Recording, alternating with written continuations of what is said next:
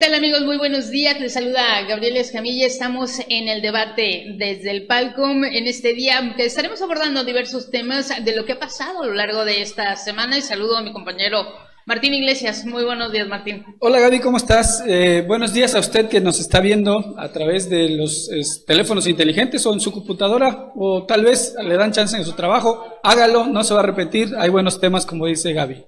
Bueno, por supuesto, en, esta, en este día estamos a través de la plataforma del palco, es el debate desde el palco, así es que, bueno, pues esté pendiente, sintonícenos a través de las diferentes, de las diferentes cuentas que usted tiene a través del Facebook, principalmente, donde le estamos llevando a cabo, pues este análisis. ¿Por qué no empezamos? Como bien decías, hubo un evento muy importante para nosotros aquí en Quintana Roo, particularmente en la ciudad de Cancún, la Organización de Estados Americanos realizó la cuadragésima séptima este, asamblea ordinaria de la Organización de Estados Americanos.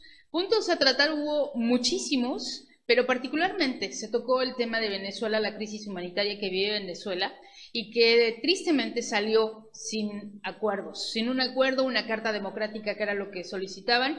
En esta carta democrática en la que pedían al presidente Nicolás Maduro, pues obviamente hubiera una reconveniencia en ese asunto de hacer una asamblea constituyente y en el que dicen, bueno, pues esta, esa asamblea constituyente no es otra cosa, sino que una eh, perpetuidad en el cargo como presidente de Venezuela. Pues así es, o sea, yo tengo un amigo venezolano, digo, al que, con el cual consulto el análisis político de Venezuela y la verdad sí está crítica, o sea, por mucho que la eh, canciller Del, Delcy, Rodríguez. Delcy Rodríguez quiso justificar todo lo que está sucediendo, la verdad es que los ciudadanos están completamente en otro canal. Están en otro canal y más allá de otro canal, me parece que ya las protestas en las calles eh, dice mucho de lo que está padeciendo eh, la ciudadanía de Venezuela. Lo hemos visto a lo largo de estos meses que ha venido manifestándose los ciudadanos en torno a las carencias que se han tenido. Y bueno, hubo meses en los que tenían carencia de papel higiénico, que tenían que salir, bueno, pues a pedir un rollo de papel cuestiones tan básicas como estas, imaginemos la cuestión alimentaria, que es otro de los puntos también importantes y donde no hay una libertad, no hay libertades hoy por hoy. Bueno, pues Venezuela vive esta crisis y tristemente, bueno, pues una confrontación también con México, una confrontación directa con el país, que de entrada y antes de esta asamblea que se realizó aquí en Cancún, bueno, pues en un, encuentro previo de esta, de esta asamblea, si usted lo recuerda, Delcy Rodríguez, la eh, canciller, ex canciller ahora ya de Venezuela, pues habría... Ahora constituyente, ¿no? Ahora constituyente. Todavía no, está en, la, está en la convocatoria, todavía no es, pero okay. ya está por esas vías y habría eh, retado un debate al canciller mexicano, a Luis Videgaray, en torno a debatir las situaciones y donde pues eh, tampoco podemos ocultar lo que pasa en nuestro país. Le reviró el asunto de lo que vive Venezuela con el asunto que vive nuestro país. Narcotráfico, violación a los derechos humanos, la inseguridad para eh, ejercer la, la profesión del periodismo, en fin, toda una serie de situaciones, pero eso no quita lo que vive hoy por hoy Venezuela y donde ya en los últimos meses ha registrado más de 70 muertes. Considero que los extremos siempre son malos, ¿no? aquí aplicaría el principio aquel que dice que el que esté libre de pecado tire la primera piedra, ¿no? En el sentido de que Dercy, Del, Dercy, Delcy, Delcy, Rodríguez. Rodríguez, pues prácticamente debatió cualquier argumento, tanto de los cancilleres de Estados Unidos, del de Bolivia, del de Chile, del de México, cualquier argumento que contra ella se esgrimía, o contra Venezuela, o contra el régimen de Maduro, pues ella estaba a la defensa prácticamente, ¿no? Se llevó las palmas, de hecho vi un video donde en una reunión de, de gabinete de Maduro, prácticamente pues la tomaron como heroína nacional. Bueno, yo creo que la toman como heroína nacional, pero si tuviste oportunidad de ver los, los debates, obviamente, que se dieron en la plenaria de esta cuadragésima séptima asamblea, pues eh, más que argumentos, yo creo que trató de revirar el asunto, eh, tratando de aludir a que toda esta eh, presunta intromisión de los estados americanos no era otra cosa sino el obedecer a las políticas de Estados Unidos. Y a eso, pues obviamente,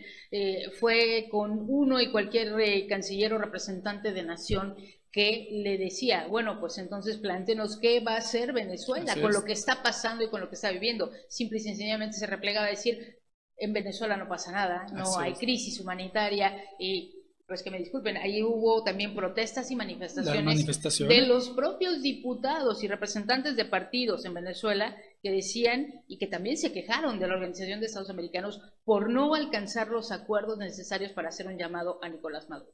Claro, cada, cada país tiene su problema muy particular, es verdad, quizá podríamos argumentar eso, pero también hay una organización, esta de Estados Americanos, que está pidiendo que en Venezuela se instituya prácticamente la democracia que desapareció. Quizá, no sé, no vivimos en los 910 cuando Porfirio Díaz, ¿no? Pero me imagino que ha de ser una dictadura tremenda. Me decía este amigo venezolano que allá, este, pues el alimento, lo que tú bien señalabas, pues está escaso. ¿Qué es lo que hacen?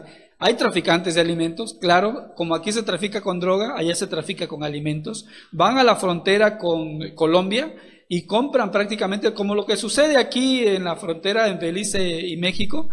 Sucede lo mismo allá, pero a mayor escala. Compran en, Venezuela, en, Colombia para revender en Venezuela. Hay tráfico de alimentos, tráfico de artículos de primera necesidad y no es la droga ahí el problema, ahí se matan por alimento, aunque lo niegue la, la canciller, ¿no? Claro, lo mismo que pasa en Cuba. Es una situación similar a lo que está, a lo que ha sido Cuba. También, bueno, pues hay quienes llevan los alimentos para los familiares porque no tienen eh, permitido, pues eh, a lo mejor una barra más de jabón o con perfume. Esto está llevando y está orillando a Venezuela a vivir esta situación. Tristemente, y bueno, no hay razón o poder que haga una eh, reconversión, un rebobinado de cassette a Nicolás Maduro, y me parece que era un hombre pues que ya se veía desde hace mucho tiempo, desde que Hugo Chávez muere y obviamente pues se traslada prácticamente el poder a Nicolás Maduro, pues un hombre que no estaba preparado, que está más allá del poder y que no lo va a soltar.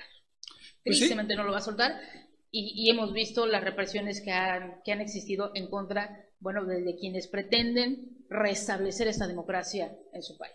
Sí, indiscutiblemente, Gaby. No sé si usted está de acuerdo con nosotros, pero si no lo está, por favor, eh, mándenos su comentario, escríbanos ahí en la página de Facebook de Palco Quintana Roense, o también vamos a, aquí a atrevernos a decir, bueno, me voy a atrever a decir lo siguiente. Si Maduro llega a fallecer por cualquier circunstancia, como sucedió con Chávez, pues ya estoy viendo ya quién podría tomar el control del país la ex, canciller. ¿Creerías que Llegó con una popularidad de México, o sea, eh, venir a México al, evento de la OEA, sus bonos políticos subieron tanto que te aseguro que va a ser la presidenta del próximo constituyente. Yo tengo mis asegúnes todavía. Ciertamente la mujer tiene, tuvo esta de, situación de confrontación que le gana esta popularidad, pero eh, quizás yo creo que todavía eh, Hugo Chávez, Nicolás Maduro vienen de situaciones de régimen militar, son gente que está dentro de la milicia de su país y habría que ver hasta dónde, hasta dónde estos eh, militares, esta gente de, defensa, pues permitiría que llegara eh, alguien como Delcy, como Delcy Rodríguez. Claro lo pondría Quiero soñar. Entre, comillados. Quiero soñar, por eso te voy a explicar mi tesis. quiero, digo, a usted también que nos vea ya, le quiero explicar la tesis.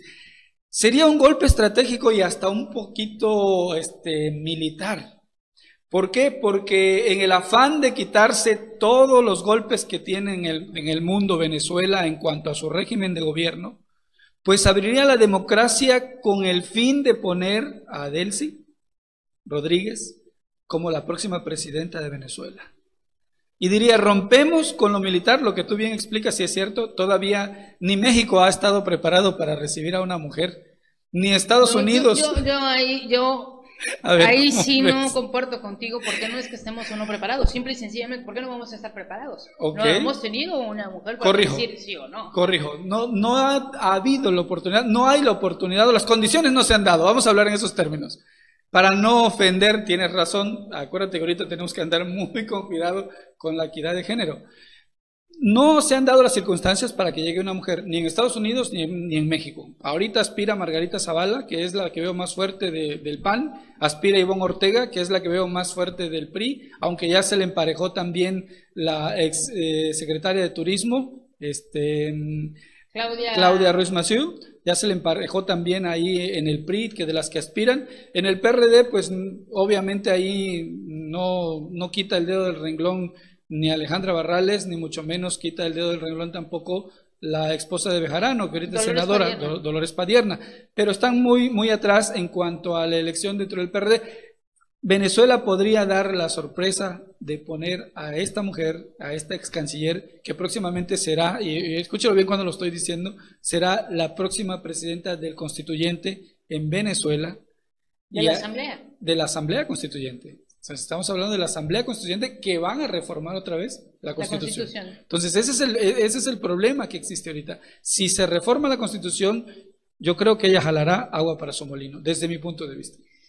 Quizás, eh, quizás gane popularidad, pero tanto como llegar a una, a una figura de, de la presidenta de, Venezuela, yo todavía lo veo muy difícil. ¿Cuál sería porque el, finalmente, hay, que decirlo, ¿por qué quiere reformar Maduro? ¿Por qué quiere reformar Nicolás Maduro esta asamblea constituyente? Pues por una simple y sencilla razón, la perpetuidad en el poder. Y no se lo va a dejar, bueno, pues a quien le ha servido obviamente, este, una figura sí de apoyo, sí de un lado que le puede traer simpatías por género, por ser mujer, pero no hay que recordar y no hay que perder la visión de que lo que buscan es una perpetuidad en el poder. Y en ese poder está Maduro. Y, no, sería a, través de ella, no sería a través de ella. Pero, pero no estás dejando en una posición de presidenta a Delcy Rodríguez. Ok. Estaría por debajo de Nicolás Maduro como lo está haciendo ahora. ¿No sería algo así como lo que hizo Fidel con su hermano? con su hermano mm, Raúl. pregunto, digo, no sé qué opina usted ahí que está allá. Desde mi punto de vista, no lo creo. No lo crees. No lo creo.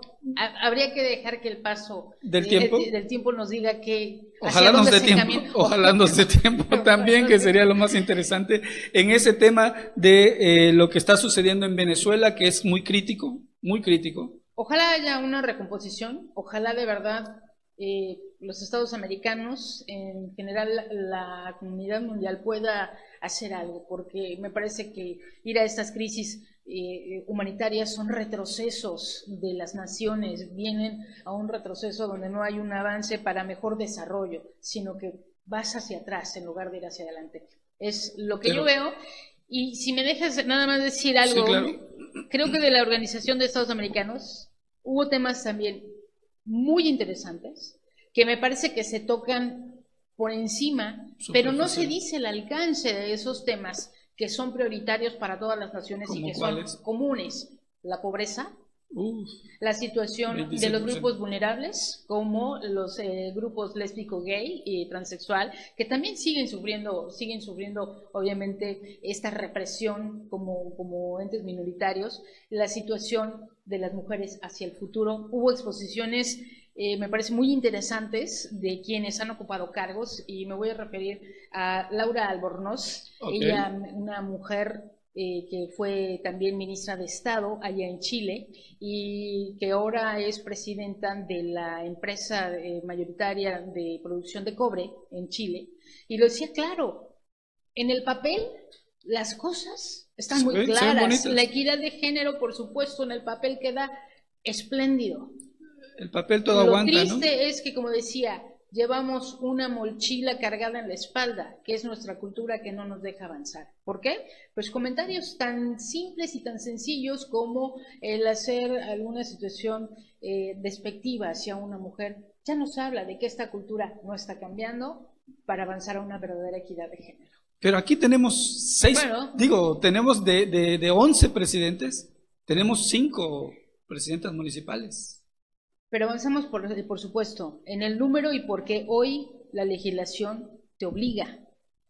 Pero en el pensamiento y en la cultura, lo que decía, tú puedes, a lo mejor, porque hoy te obliga la ley a que le tienes que dar el espacio a la mujer. Claro. Pero a lo mejor puedes decir, ay, no, esta señora, no, hombre, no tiene ni, pero ni lo más poquito. Cuando no sabes y no conoces cuál es la trayectoria de esa mujer, cuál es la decisión que está tomando en bien o en mal del desarrollo de su región en la que está gobernando o en su dependencia que tiene hoy a cargo. Oye, no, no sería, digo, hablando ya ahorita del tema que está interesante, por cierto, ¿no sería que también lo que están haciendo con Perla Tum es violencia de género?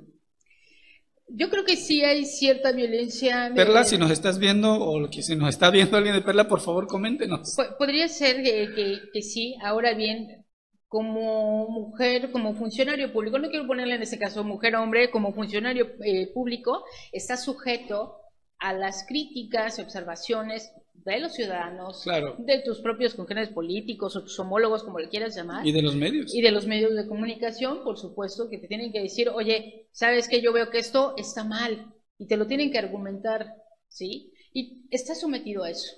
Y tiene que enfrentarlo. Si hay allá un poquito más de violencia de género, también tenemos que ver o analizar cuál es la situación. No, no estoy segura de que fuera violencia de género, pues. pero pero yo creo que hay algo mal que no marcha bien en su gobierno y que a eso obedece tanta crítica que ha tenido. Porque debería ser esto, ¿no? Se supone que eh, si estás para gobernar, pues también debes de escuchar lo que estás haciendo incorrecto y corregir, no aferrarte y escudarte precisamente en la, en la cuestión de violencia de género. Yo creo que habría que dejarlo muy claro. No quiere decir que porque ahora aparece esta equidad de género no está sujeto a críticas. ¿eh? En el cargo en el que ocupes de iniciativa privada, de, eh, cuestión pública, está sujeto a las críticas. Un hombre y una mujer, por supuesto. Es el desempeño de tu trabajo. Y tampoco lo quiere decir que porque tenemos ahora la equidad de género, pues seamos intocables las mujeres, si quiere decir que te traten con el pétalo de una rosa. No, estamos sujetos a las evaluaciones como funcionarios.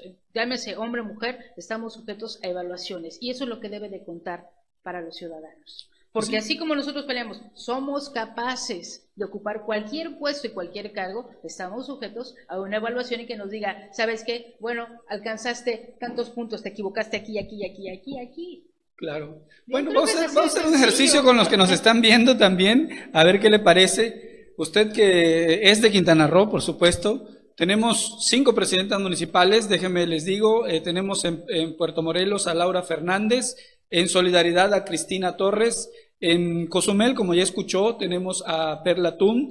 En Tulum gobierna eh, Romualda de Sul, Camal. Y en Carrillo Puerto, digo, también había que enfatizarlo, pues está ahí Paoli Pereira Maldonado. Entonces tenemos cinco presidentas municipales que gobiernan el 27% de quintanarroenses. O sea, ni siquiera llegan, son cinco. Y pues como debería ser al menos el 40% de los gobernados. Bueno, habría que decirlo que pues la mayor parte de la población se encuentra mayormente Cancún, Chetumal y Playa del Carmen.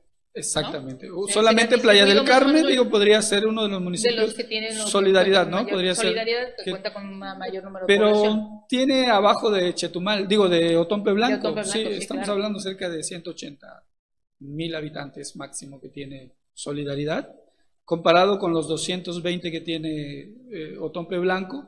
Y pues aquí en Cancún que estamos la mayoría, ¿no? cerca del millón, ya, ya estamos cerca del millón de habitantes. Yo, te preguntaría entonces, a ver, si vamos a hacer una evaluación de las mujeres, entonces, ah, bajo, qué dice? ¿bajo qué tenor, bajo qué tenor tenemos que analizar?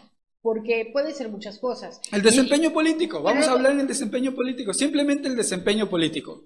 Pero tienes que ver y tienes que poner también en la circunstancia en la que se desenvuelve cada una de las presidentas. ¿Quién trasciende? ¿Quién trasciende de las mujeres hoy en día? De los hombres descalificados, de verdad, con todo respeto, de los presidentes municipales descalificados. Quizás Luis Torres Llane, que por cierto no es santo de mi devoción, pero había que reconocer que más o menos está haciendo bien las cosas. Eh, se salvaría, por así decirlo, pero de ahí en fuera los demás hacia abajo. Pero las mujeres sí, las mujeres están haciendo un buen trabajo. Yo te pondría... Dime.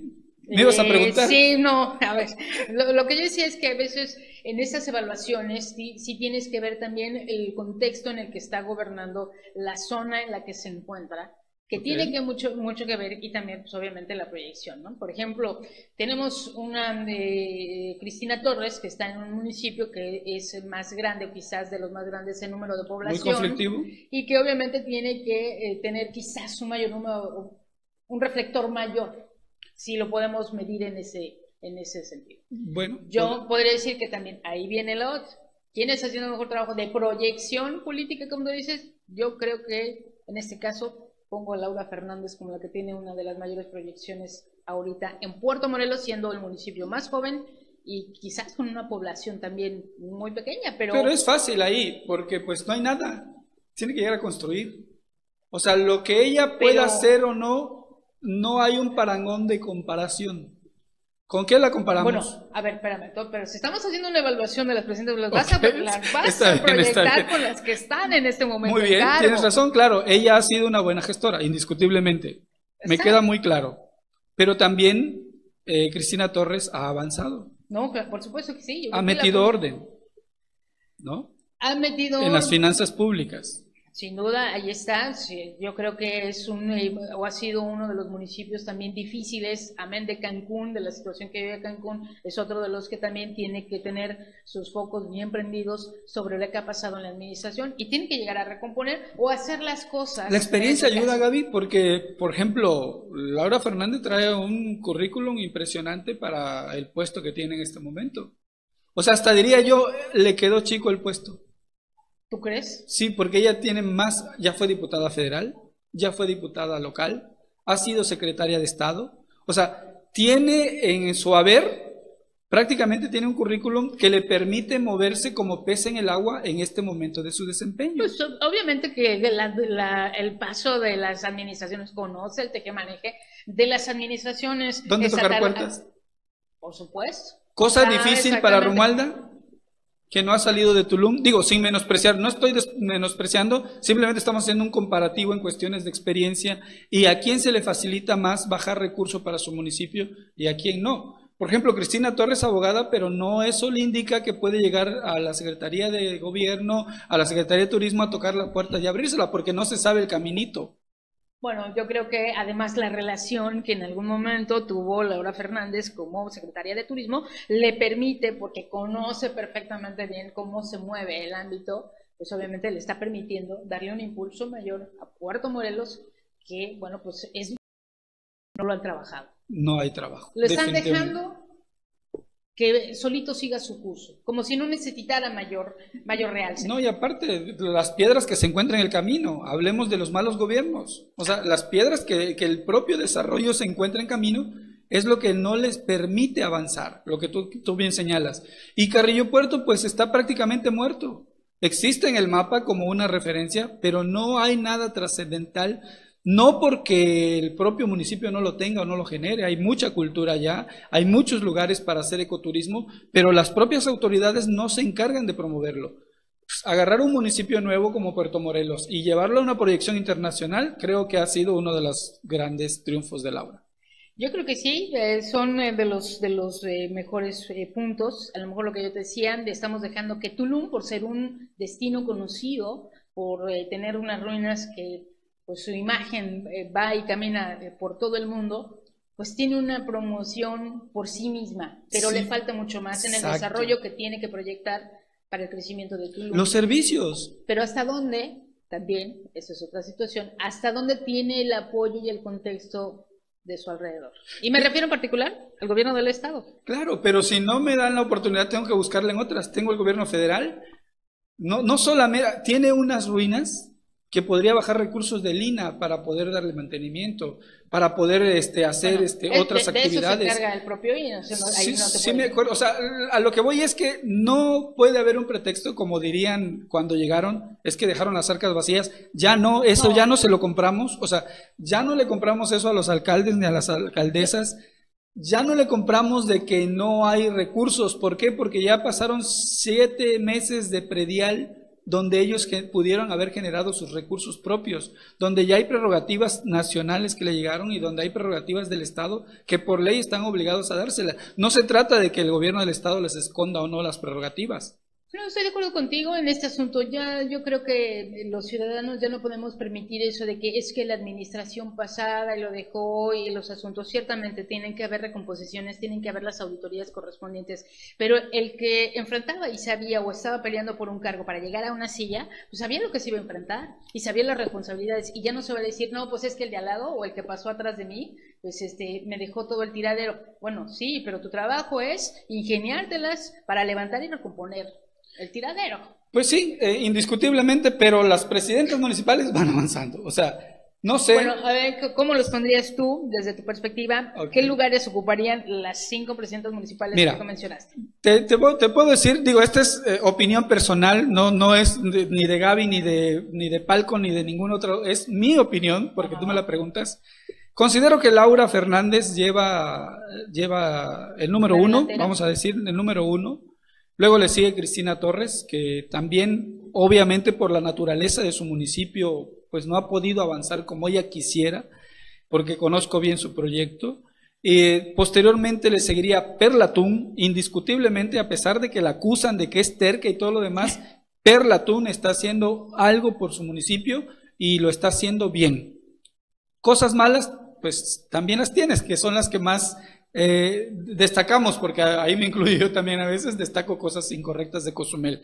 Luego le sigue eh, Paoli Pereira, de ahí en Carrillo Puerto, que pues, está haciendo un trabajo modesto, pero bien. Y por último, Romualda de Sul. El problema de Romualda de Sul es uno, que la influencia de su hermano Marciano, que ya fue presidente municipal, es muy grande y aún no se la puede quitar.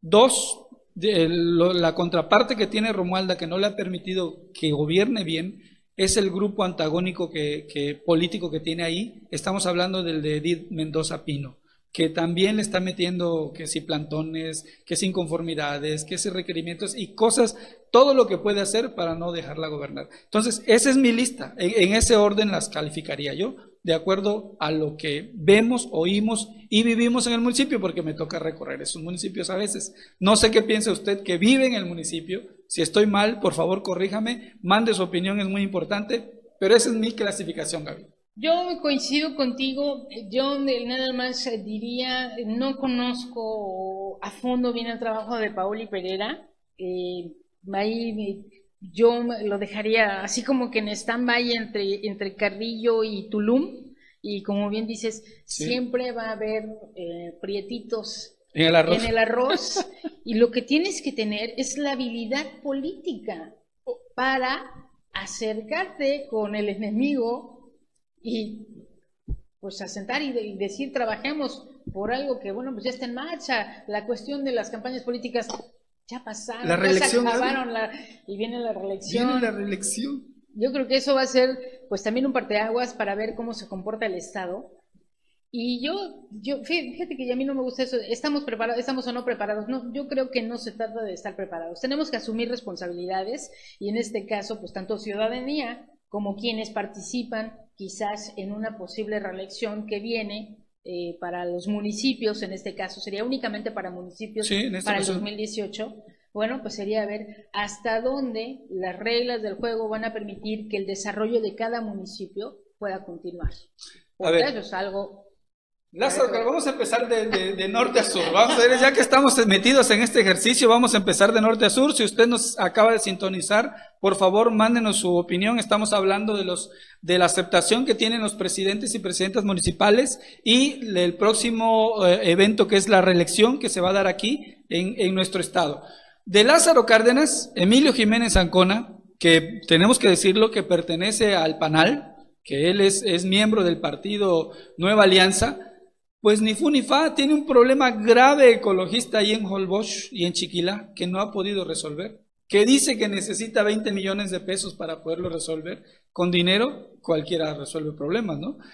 Ese es uno, va por la reelección, ya lo dijo que va, está trabajando para ello. El otro, Juan Carrillo Soberanos, que está aquí en Isla Mujeres, obviamente, solamente hay que darse una vuelta aquí por Francisco May, elegido, no me refiero a, la colonia de aquí de, Benito Juárez, sino al elegido Francisco May de, Isla Mujeres, o a la colonia La Gloria, que está ahí en pleno centro de, Isla Mujeres, de la isla, o si no aquí a, la Ciudad Mujeres, donde también está, pero de la patada, acaba de llover, por favor, no vaya sin una troca 4x4 a esos lugares, ahí de Rancho Viejo para allá, porque no le aseguro que usted salga por ahí. ¿Quiere la reelección? Remberto Estrada, problema de inseguridad, que ah. sabemos que no lo va a poder resolver y la gente se, molesta porque los tiene abandonado completamente en las regiones. Hablando, estamos hablando de los hombres, ya hablamos de las mujeres, estamos hablando de los hombres. Si nos bajamos un poquito más y vamos a José María Morelos, ayer estuvo, por cierto, el gobernador por ahí, por José María Morelos, en Platícale a tu gobernador, y ahí Valadez Chis José Valadez, sí, perdón, él, pues, ni fu ni fa. No, por más que posteen en el Face de que está haciendo cosas interesantes, nada. Es más, se sospecha que él hizo el movimiento de los campesinos para que hicieran el plantón. No sé si te acuerdas a principio de año.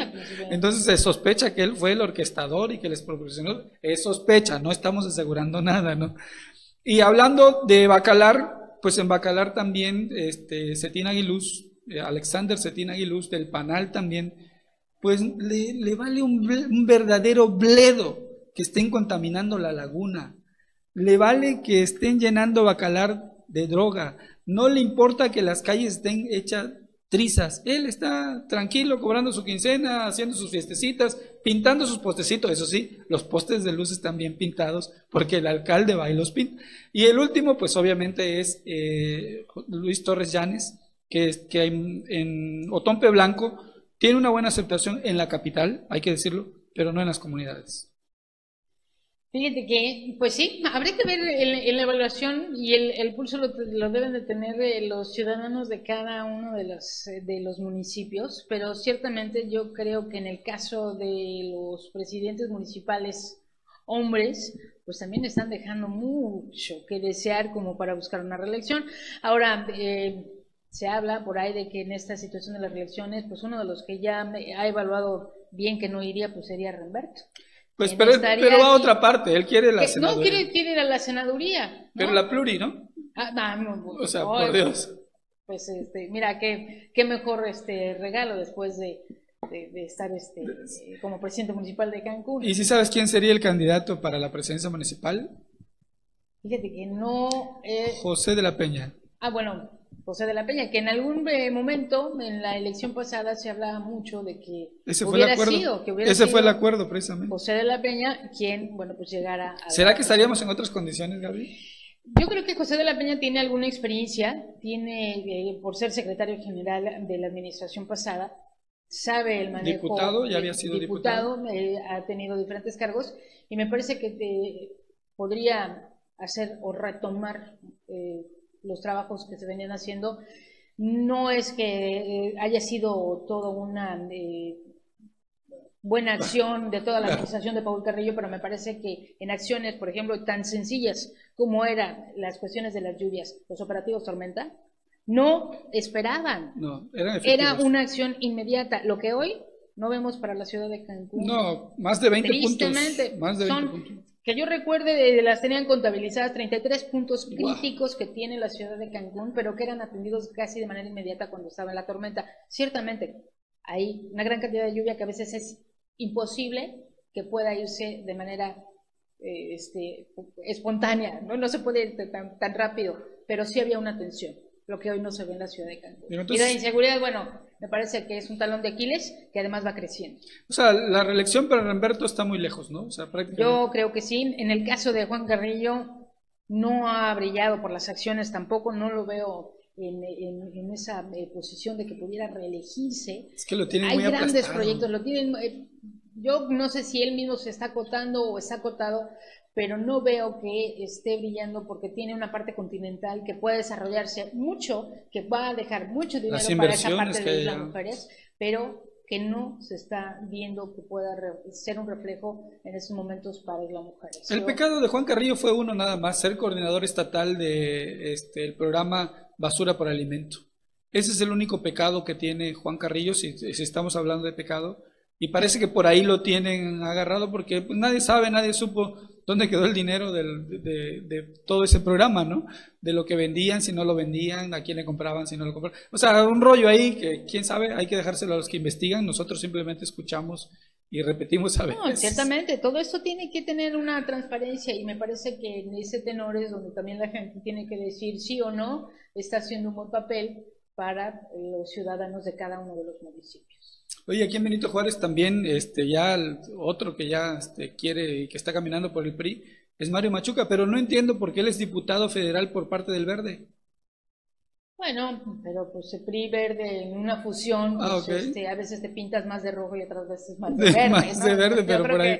En esas fusiones, pues no ha habido. Es el que, ha, el que ha dicho, ¿no? Que si va, pues otra que quiere también y que ha estado insistente desde la administración pasada es esta señora que mandó a hacer en sus campañas no sé, ¿te acuerdas? Una ropa interior con su figura, ¿cómo se llama? Susana Hurtado. Susana Hurtado. Sí, es que se me olvida su nombre, ¿no? Pero Susana Hurtado también ha dicho que quiere que por ahí la rescató el PRI en el OMPRI, o sea, está en el, en el OMPRI municipal, ahí la tienen metida. Sin embargo, no hay que, no, no hay que este, ver cómo se mueven, porque la misma Susana Hurtado también hace unas semanas atrás decía que si su partido no le cumplía, pues se podría aceptar algunas otras invitaciones. No ha señalado de qué partidos tiene otras invitaciones, pero que... Todos apuntan pues, a Morena, Gabriel. O sea, todos quieren con Morena. Ahorita Morena, la Morena se volvió muy cotizada en estos lugares, ¿no? Pero yo creo que hay que ver hasta dónde Morena le puede dar a los que hoy quieren llegar a, un puesto de elección popular, les va a dar exactamente pues eh, el cargo. Yo creo que hoy la gente, si bien es cierto, tiene una corriente muy fuerte en Quintana Roo, particularmente Benito Juárez, el Movimiento de Regeneración Nacional, también no hay que dejar de, vista pues que la, gente ya conoce las figuras de otros partidos políticos. Sí, definitivamente. Y eso también le puede restar a Morena si no se fija a quién lleva en sus filas. ¿Rostros nuevos? Entonces, ¿tendrían que ser rostros nuevos? La nueva política así es. Digo, no vamos a salir como el presidente Peña Nieto a decir, este es el nuevo rostro del PRI, porque ya sabemos qué sucede, ¿no? Pero sí pues necesitamos rostros si tú recuerdas al, dinosaurio Rex, pues yo creo que por ahí volvió a resurgir, porque no había de otro. Ok, sí, tienes razón. Yo creo que es parte de lo que se tiene que ver, pero lo que va a ser muy interesante van a ser las reglas que tengan que poner los legisladores para esta reelección. Hay diferentes modelos de los que se han venido hablando en torno a cómo debe de ser la reelección. Uno de estos es eh, si se permitiría a quienes eh, pretendan postularse y que están en el cargo, pues mantenerse en el gobierno municipal y, bueno, por realizar estas campañas. Hay otros que dicen, perdón, que eh, tendrían que dejar el cargo. ¿Qué costo tendría también eso, eh? Aguas. Son 90 días antes. Según la ley, 90 días antes, cualquiera que aspira a un puesto de elección popular en las próximas elecciones, eh, sea federal, sea estatal o sea municipal, tendría que dejar el cargo 90 Pero en días este antes. Caso, la reelección tendrían que pedir licencia. Ellos se llama pedir licencia porque acuérdate que los cargos de ellos son irrenunciables irrenunciables. Es un tipo, están haciendo así como un collage entre la legislación francesa en cuestiones electorales y la legislación de Estados Unidos. O sea, están haciendo... Pueden estar en el cargo, pueden mantenerse en el cargo, no se separan del cargo y pueden estar eh, postulándose para aparecer en la boleta. Y, está, eh, ahorita las combinaciones, lo que bien señalabas, las combinaciones están chistosas. Porque, por ejemplo, tú podrás, según lo que dijo ayer el, líder del Congreso, Eduardo Martínez Arcila, en una entrevista, tú podrás ser presidenta municipal en este momento, pero dentro de la negociación de la planilla, podría ser que tu síndico vaya ahora a la cabeza y tú vayas de síndico. O tú vayas de regidora. O sea, puede haber combinaciones dentro de la propia planilla. No necesariamente es reelegirte para el cargo. Lo que le están quitando los candados, los que le están quitando los candados, es ese de sufragio efectivo, no reelección. O sea que si ya apareciste en una planilla, ya de plano ya no vas a poder aspirar ni a presidente ni a regidor porque ya estuviste en esa planilla. Podrás a otro cargo como diputado, ¿no? Pero no, ahorita están quitando ese candado para acomodar la planilla conforme les convenga a los partidos políticos. Lógicamente, si eres presidente municipal y hiciste un buen trabajo, presidente municipal, pues querrás ir a la cabeza siempre. No, no, por supuesto, a mí me parece que en este caso, bueno, pues como presidentes municipales tendrían que quedar en la misma cabeza, porque si no, entonces no hablamos de una reelección, hablamos de que el que estaría como síndico, pues estaría eligiendo por primera ocasión para ser presidente municipal. Ahí yo creo que habría que tener mucho cuidado. Sí, por la planilla, ¿no? pero es por las planillas, acuérdate que se elige a la planilla. Pero te eliges para un cargo. Al ayuntamiento. Por eso, pero te estás eligiendo para un cargo. Sí, claro. Entonces ahí si tú eh, dentro de la planilla quieres jugar a otro cargo, entonces estás eligiendo por primera ocasión. Pero es lo que están eh, precisamente discutiendo los diputados. o sea, a lo mejor en el caso de las cabezas de presidencia municipal quede aparte y la planilla, pues. Sí, porque decía, si quieres ser síndico otra vez, está bien ser síndico, pero a lo mejor ese síndico quiere ser regidor y dice, ya no, ya no me gustó como síndico, quiero ser regidor. Entonces lo acomodan dentro de la misma planilla. E, es lo que ayer se explicaba, ¿no? Sin embargo, todavía esto es el siguiente periodo, ¿sí? Siguiente periodo, siguiente periodo eh, ordinario, ordinario, que va a empezar en septiembre. que empieza el, primer periodo del segundo año legislativo de esta legislatura, vale la redundancia, va a ser en septiembre. O sea, están llamados para septiembre. Ahorita están viendo todos los operativos que se van a hacer en cuanto a la ley ahorita de anticorrupción que están planteando y también acotar a los partidos políticos para que ya no reciban la cantidad de billete que reciben, sino que ahora sea menos. Todo depende de lo, de lo que las fracciones parlamentarias acuerden. Pero yo te pregunto, Gaby, si tú fueras dirigente de un partido en este momento, ¿tú vas a pedir que te reduzcan tu presupuesto? No, por supuesto que no, eso es lo que menos quieren, aunque a nivel federal ya también está esta situación de la, de la presentación y la reducción del presupuesto para partidos políticos. Ojalá se hiciera porque me parece que ese recurso que derrochan los partidos políticos debería de enfocarse en mejores acciones. Claro, ¿y las plurinominales? Que se reduzcan las plurinominales, ¿cómo ves tú? O sea, ya no vas a poder ser diputado plurinominal. Mira, yo ahí tengo mis asegúnes en torno a lo que bien se ha señalado. Si bien es cierto, dices, bueno, es gente que no hace una campaña, que no le trabaja, que pues prácticamente son los premios, ¿no? Sí. Son, o se ha visto como los premios. Por el otro lado, también es cierto que las pluriminales lo que han hecho es tratar de equilibrar. Ese fue el espíritu. Entre comillas. Ese, fue el espíritu. Ese, fue el espíritu que no siempre se logra.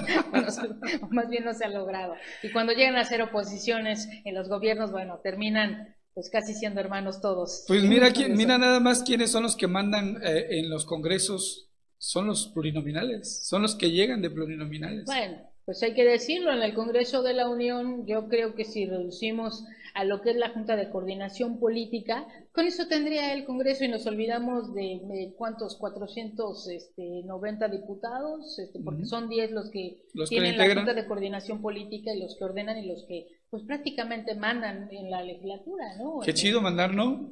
¿Te postularías tú para un distrito, Gaby? Oye, oye, yo creo que... Pero por la vía plurinominal. Antes que la quiten. Oye, claro que sí. Pero antes que la quiten, ¿no? Acuérdate que, ya... Porque ya después de que la quiten, pues ya tendrás que ir a una elección. Bueno, no sé qué le ha parecido a usted los temas que hemos abordado en esta mañana. Esperamos que cumplir sus expectativas y esperamos su comentario. Si no es hoy, pues ahí estará en nuestra página de Palco Quintana Roense eh, este, este programa. Y pues, Gaby.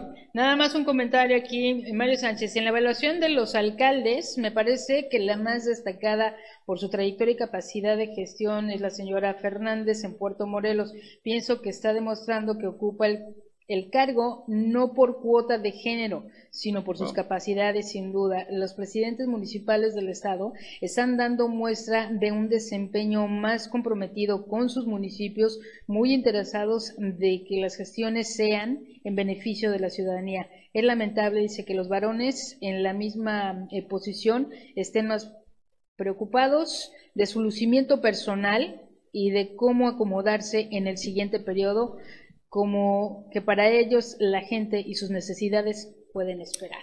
¡Wow! ¡Qué comentario, ¿no? Bueno. Mario Sánchez participando y diciéndonos, y Mario, déjame decirte que tienes toda la razón del mundo. No quiere decir esto que, por ejemplo, Remberto Estrada a las 12 del día vaya con su peinadora y su manicurista. No quiere decir esto.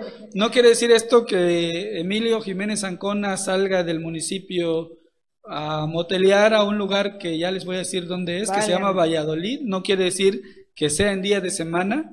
No quiere decir esto tampoco que Juan Carrillo agarre un yate e invite a sus amigos para darse una vuelta ahí en la isla en horas de trabajo. No quiere decir tampoco que Luis Torres Llanes eche sus copitas después de las 3 de la tarde, tipo Calderón, ¿no? O sea, digo, eh, no, estoy, eh, estoy simplemente... esto es el debate eh, del palco, pero se ha convertido en ventaneando. Agradecemos el comentario muy acertado de Mario Sánchez. Me, me, de verdad que sí me tiene razón al decir que los varones están fallando, los varones alcaldes están fallando y ojalá las mujeres le metan más empuje, que Romualda por el bien de su pueblo y que Paoli por el bien de Carrillo también, pues si no pueden, eh, o más bien no es que no puedan, sino que si no tienen eh, la manera de acercarse a recursos federales, busquen ayuda, que toquen puertas, que vayan y lo hagan, o que contraten un despacho, que busquen gente, siempre hay, siempre hay gente que se la sabe. Mira, yo creo que se deben de quitar de los compromisos de asesores porque pues eh, podemos decir que tienen una gama de asesores cada uno de los alcaldes, este, que son más por compromiso y por pagos que porque realmente les puedan estar beneficiando. Y hay gente muy interesante, muy importante en las academias que pueden darle y hacer los estudios correspondientes para los desarrollos de cada municipio. Sí, y no hablemos de su comunicación social que está por, por la calle de la amargura. Bueno. Dime tú que de este gobierno, tanto estatal como municipal o municipales, ¿quiénes se salvan? Híjole. Serían contados con los dedos de la mano, pero me sobrarían. Yo dejo puntos suspensivos. Muy bien, digo, no queremos meternos en esos temas, lo entendemos, pero bueno, Ahí usted que está detrás de la cámara puede explicarnos bien lo que está sucediendo en su municipio. Gaby. Pues eh, claro que sí, yo creo que lo dejamos en esta mañana en el debate desde el palco. Nos estaremos escuchando y nos estaremos viendo el próximo miércoles en punto de las 11 aquí en el debate desde el palco para que se participe con nosotros a través de nuestros eh, portales, por supuesto. Ahí estamos Palco Quintana Roense, que es el que nos eh, abriga y donde usted, desde donde usted puede participar con nosotros. Muchas gracias, siempre es un privilegio compartir la mesa con, con Gaby Escamilla, que, que, tiene toda la experiencia del mundo y está bien informada, y con usted que nos vio a través de las redes sociales, gracias a nuestro productor también, y como bien dijiste, nos vemos el miércoles próximo. Muchísimas gracias.